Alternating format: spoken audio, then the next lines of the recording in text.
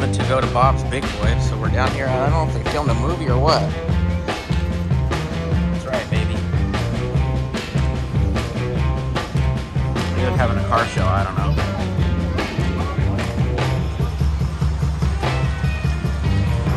Let's go see what this is all about.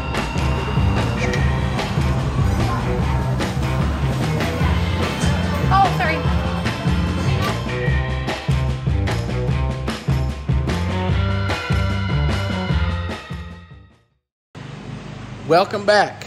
Back to the best Volkswagen content you guys have ever seen. Uh, got my daughter last night from the airport, as you saw. Went and had a burger at Bob's Big Boy. Kind of cool. Uh, I think they were having a car show. You've seen all the cars that were there. So today, we're out here to continue on on the bug. Um, got a million things going right now as far as I got all the rest of tins back. Um, I'm going to paint the two that go over the cylinders on the top. I'm not going to touch the ones that go on the bottom. Uh, right now, I'm going to address this intake manifold. So when I took this apart, there was a tube sticking out and there was a piece of hose with a screw in it. That didn't go to anything when I took it apart. So called my stepdad. He says, go ahead and plug it. So I'm gonna get you set up on the camera. I'm gonna drill this thing out. I'm gonna put an eighth inch pipe tap so it can be tapped. And if anybody wanted to change it later, they could screw a, uh, a barb into it and do their thing. Sorry for the background noise. Letting my generators do their thing. I probably haven't ran them things in over a year. So I'm gonna let them get hot and run and all that good stuff, but let's get cranking on this intake manifold. So our final bit for an eighth inch pipe tap is gonna be 2164. I'm going to step up to that.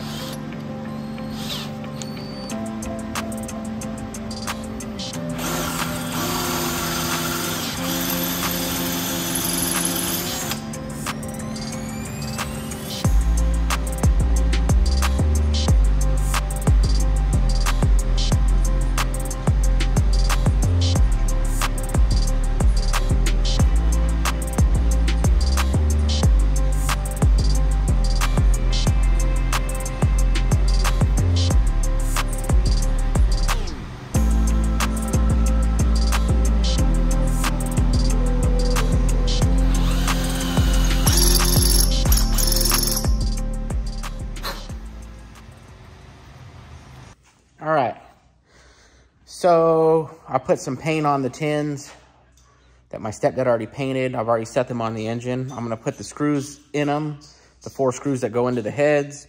I changed the gaskets out on the oil cooler and I'm pretty close to being able to set the doghouse down on here.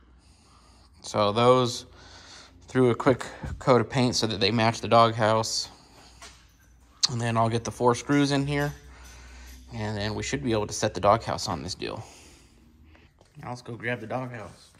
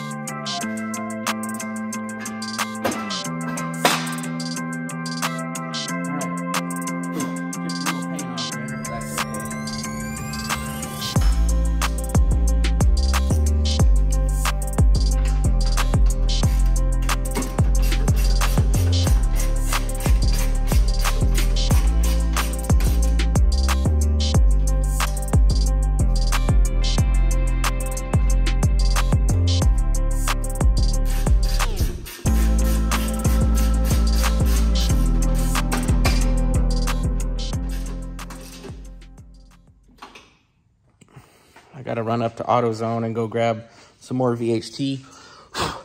There's uh, the two little intake manifolds that go down here.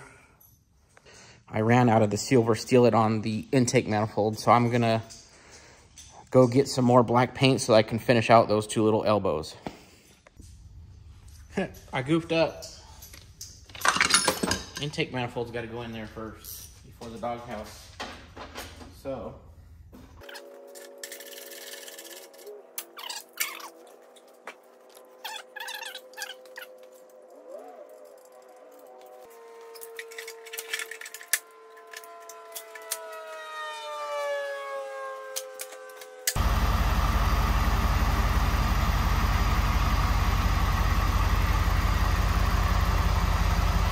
Okay.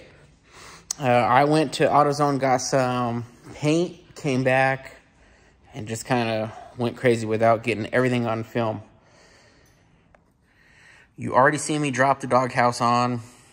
You already see me put those tins on. I got the belt on. Really nominal things. My concern is I tried to put some of the tins on underneath, and these J tubes may or may not be in the way. So I think I'm going to have to I think I'm to have to pull this engine off. And as sketchy as it is, I might have to set this engine on like one of these stools that I have. That way I can work on the outsides of the engine and have the engine sit on the stool. But that's to do it for tonight. It's Saturday night. I got to get up and go to work in the morning. Got one intake manifold painted. The thing in it that we drilled and tapped. Uh, the other one has its final coat on it, and I'm waiting for it to dry. So I'm pretty much at a standstill for this evening. It's cold. I want to go inside and spend the rest of the evening with my family. Um, I'll catch up with you guys later in the week, and we'll figure out what the next step is. I'm probably going to have to cover this entire engine in like a blanket or something when I put it up in here. The problem with painting these tins versus powder coating them is I feel like the paint chips off really easy as soon as they rub anything. So, um, yeah, that's my concern. But once I get the intake manifolds on this engine, I guess I could probably just put the engine in and then address the tins underneath. I may do that too, rather than putting it on a, a stool. I could see this thing falling off and getting hurt. But uh, we're pretty much close to getting this thing back in. I Like I said, I got to pull this thing off, and we got to put the flywheel on and the clutch on. All that stuff's here. All of it's ready to go. Just need to actually do it. So I'll catch up with you guys later in, uh, in the week, and uh, have a good evening.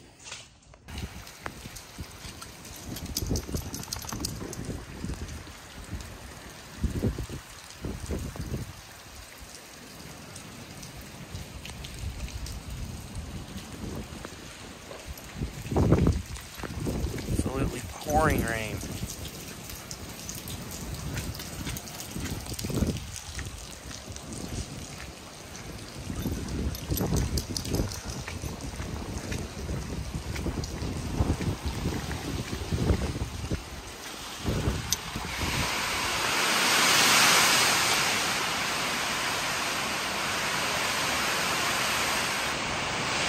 January 9th, it is pouring like a stone.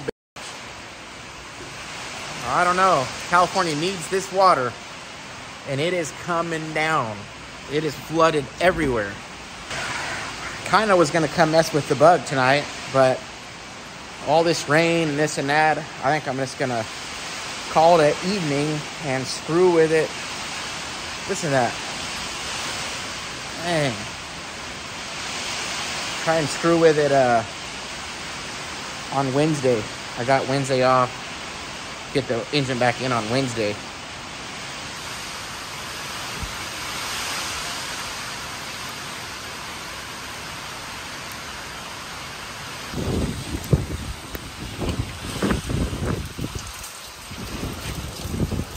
we got a lot of standing water out here. We are flooding. Flooding. My poor birds. Check on my birds. Man, we're flooding good.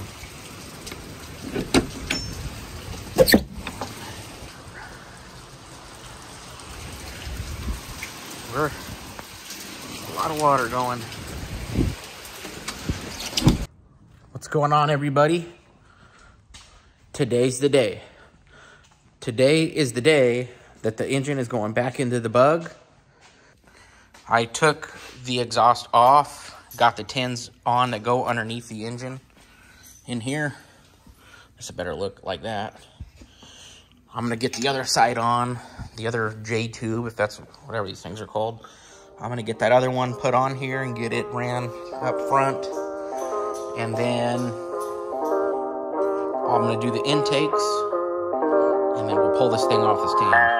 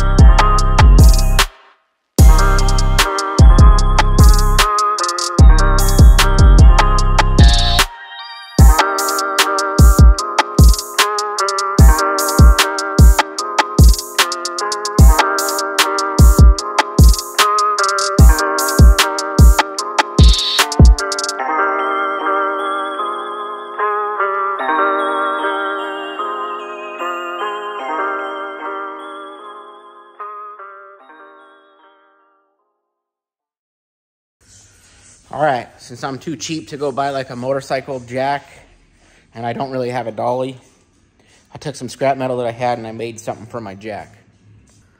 So the engine can sit on this now. Um, I just took that bolt out that holds the round pad on. It'll swivel. Should make it a lot easier for me to set the engine on there and get it up in the car when I'm ready to do that. It's 2.30, I gotta go pick up my daughter. We'll come back.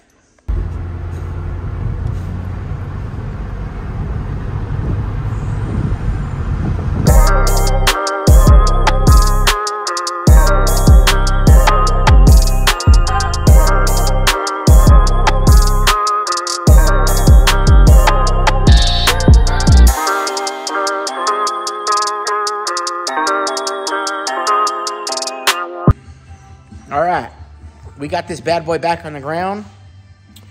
We're gonna go ahead and get the flywheel on it, the new flywheel, new gland nut.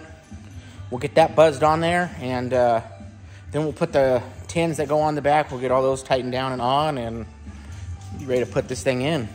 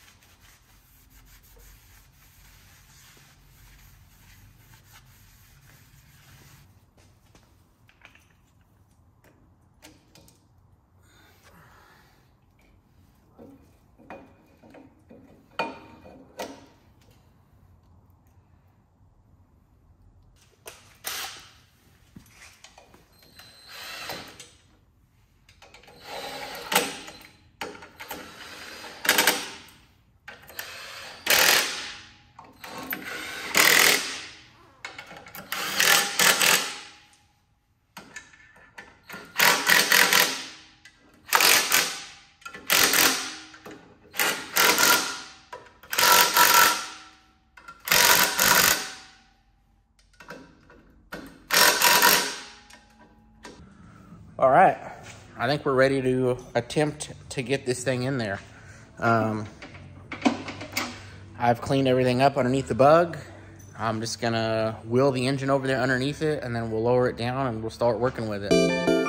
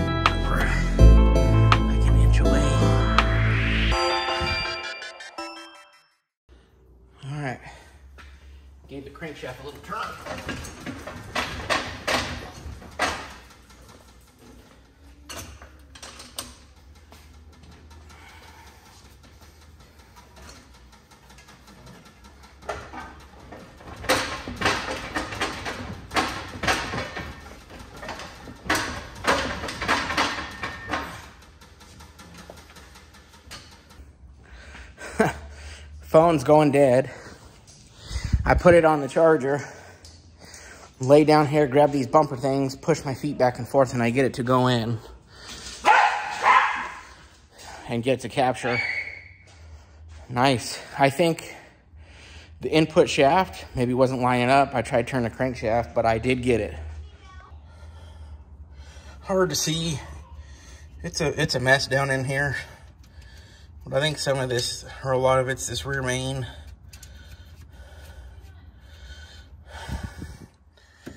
We got it. I got that one up there already in. I gotta get these nuts on. These nuts.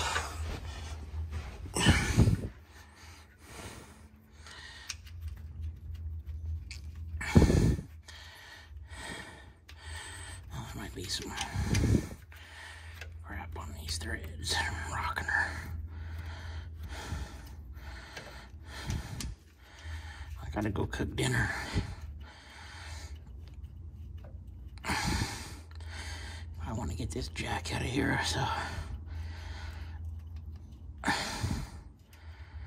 All right. So in the process of doing this, I've bent this uh, tin. I'm gonna have to bend that back down. It's bent. All right, I'm gonna put you guys on a time lapse and start getting everything bolted up on this thing.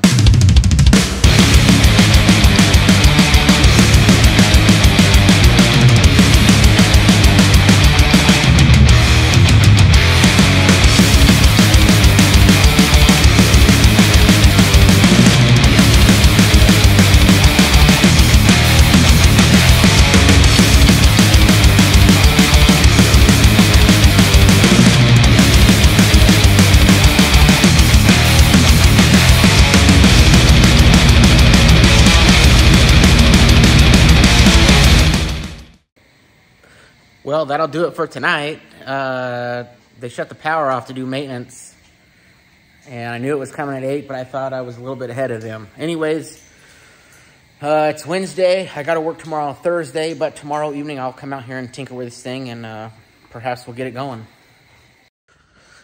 All right, you guys.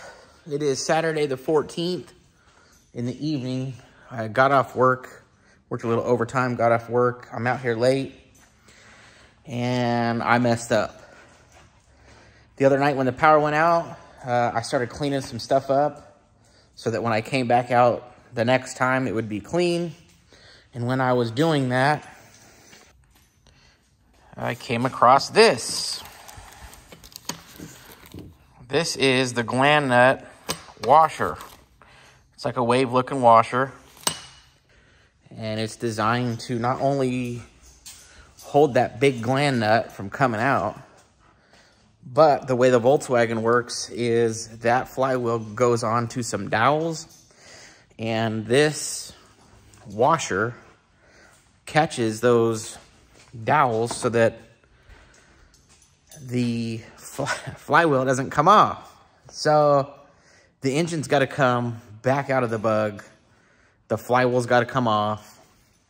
I've got to pull that gland nut out put that washer on, put some Loctite back on the new gland that we have, and put this whole thing back in. Um, I'm glad I caught it now versus when my parents would be going down the freeway and the dang flywheel come off or something. And you'll have to forgive me. I, I literally, the last time I worked on a Volkswagen, I was probably 17 or 18 years old.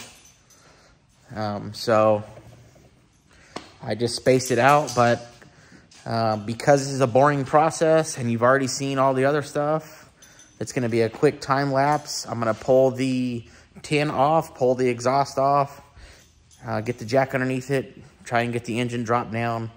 Um, I'm gonna do everything on the jack and that little thing that I built and then get it back up in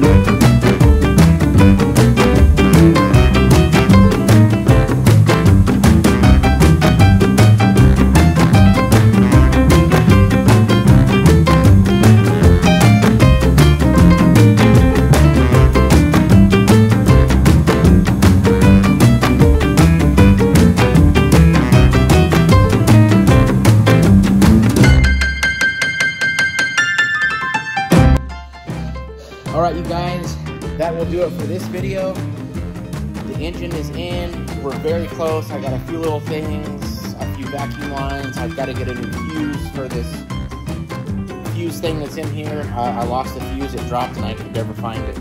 So a few little things and then we're to start this bad boy. I'm to drain the gas out of it. I think the gas is old up front. Um, I'll flip the camera around, show you what we got so far, and then, uh, like I said, on the next one, we'll start this bad boy. So I did my best. Obviously, I had to take this thing back out. Um, I, I tried to put a little spray wax, You can see where my hand, greasy hands have touched it. So I may have to do something else to get that stuff off, but that's what she looks like when it's in there. Obviously, it looks a lot better than it did when it came here. I would highly suggest if you're ever doing a Volkswagen and you're screwing with these tins, get them powder coated. Um, if you screw with them a little bit and, and they're painted, they get scratched, just powder coat them. Um, but that'll do it for this video, guys. We'll catch you in the next one.